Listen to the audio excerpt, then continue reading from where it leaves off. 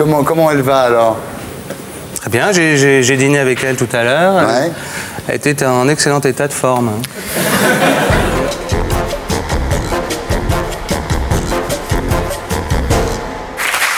Vous dites en fait, on est, on est- on est tous des robots en fait. Il suffit de voir les gens s'arrêter au feu rouge. Tout le monde fait la même chose toute la journée, quoi. Oui, oui, oui, on dit d'entrer, on rentre, on dit de sortir, on, Ouais. on sort. C'est vrai. C'est vrai, il suffit qu'on nous dise un truc, on le fait. On est des robots de chair et de sang, mais des robots quand même, quoi. Bah, c'est pas incompatible, à mon avis. Ouais. Oui, oui. Euh, plus on essaie. Moi, essayé d'être un robot, j'ai fait le disque avec des, des machines. Hmm. Mais je me suis aperçu qu'au fond, euh, ça n'avait pas du tout euh, Kraftwerk ou quoi que ce soit. C'était plutôt, Ouais. c'était plutôt l'humain qui revenait au galop. Ouais. Donc, euh, je me suis fait. euh, Enfin, d'ailleurs, c'est ce que j'attendais au, au final. On est tous conditionnés par des numéros.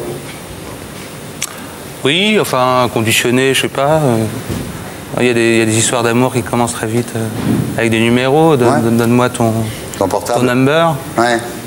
C'est des fois, c'est les premiers mots de l'hi- l'histoire d'amour. Ouais. Et après, c'est donne-moi le numéro de ta carte bleue. Ça peut être les derniers numéros. de-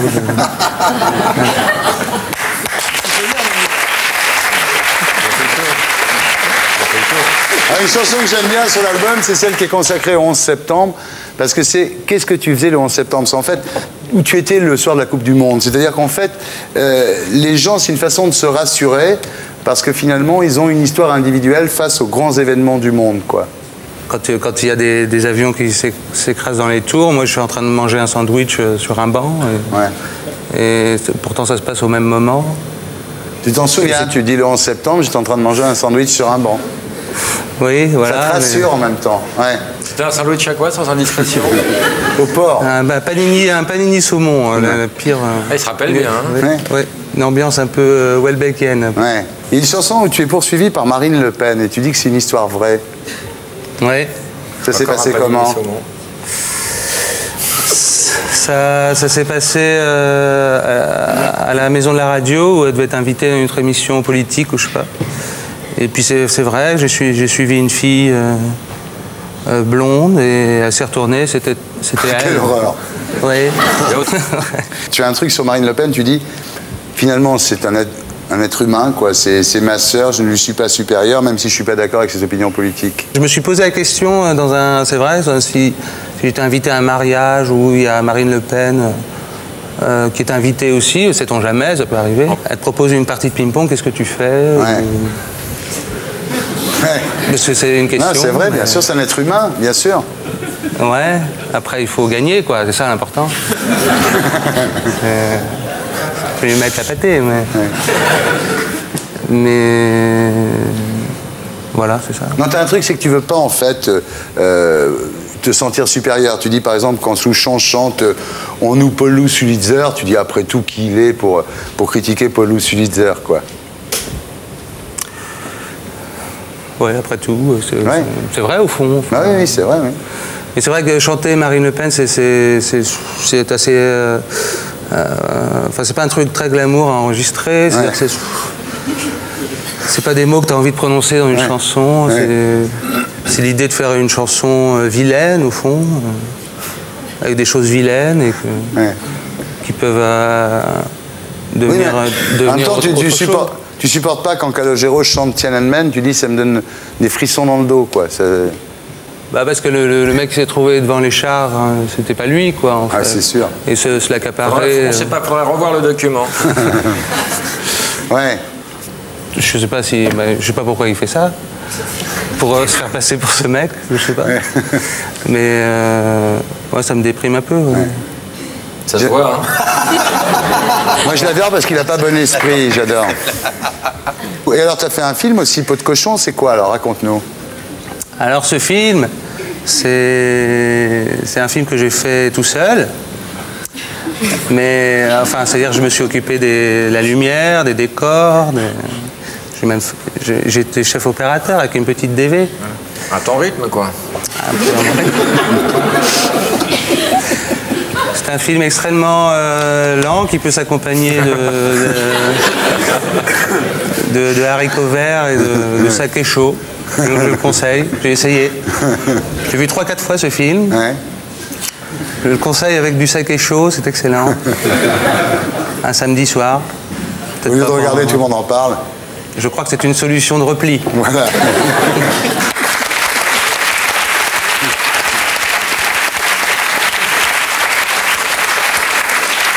comment, comment va Elena, notre amie Elena Noguera Comment va-t-elle Très bien. Elle vient nous voir ici régulièrement. Oui, je sais. Ta quand, elle, belle-sœur, elle a quand elle vient, on lui parle de toi. Quand elle est là, on, te parle d'elle.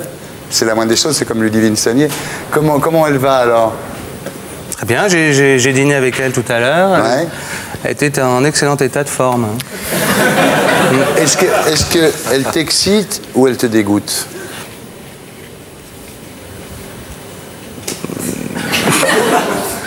C'est c'est très. Enfin, je veux dire, c'est- pas évident. Enfin. On va voir ce qui t'excite et ce qui te dégoûte. On va faire une interview stimulus.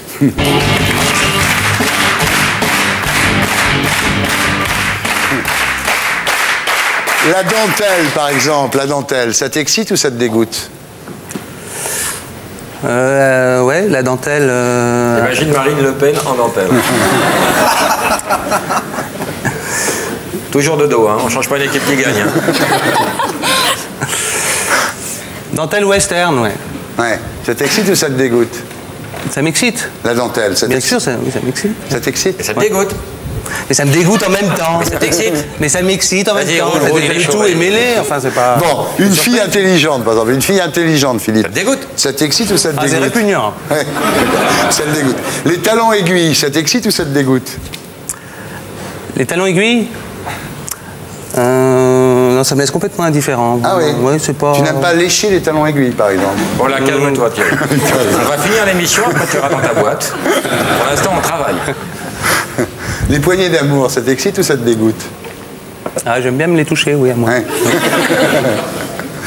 La télévision, ça t'excite ou ça te dégoûte Ça m'excite. Pas, pas de. Ouais. Pas de diète, là. Mais... Non, mais là, c'est toi qui nous excite. Ah non, moi, il me dégoûte. hein.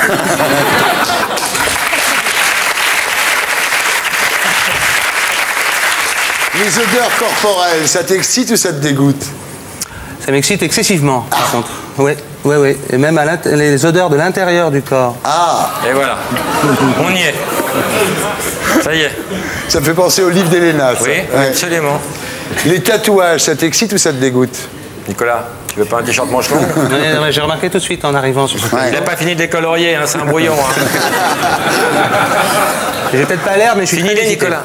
Ça t'excite? Oui, je suis très excité Nicolas t'excite. par euh, celui-ci. en fait. C'est Très beau. Merci bien. Il y a des femmes toutes nues. Ouais, ouais, ouais. Ouais, il y a du monde. Hein.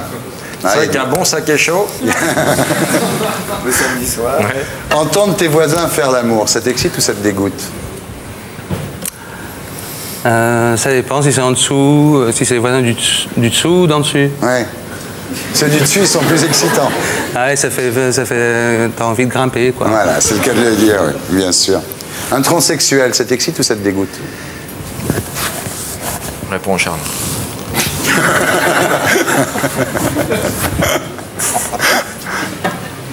Laurie, ça t'excite ou ça te dégoûte? Elle est Super week-end Super week-end, oui. J'aime énormément cette chanson. Et je, je le dis, je le dis en fermant les yeux. J'aime énormément cette chanson. Juste un super week-end.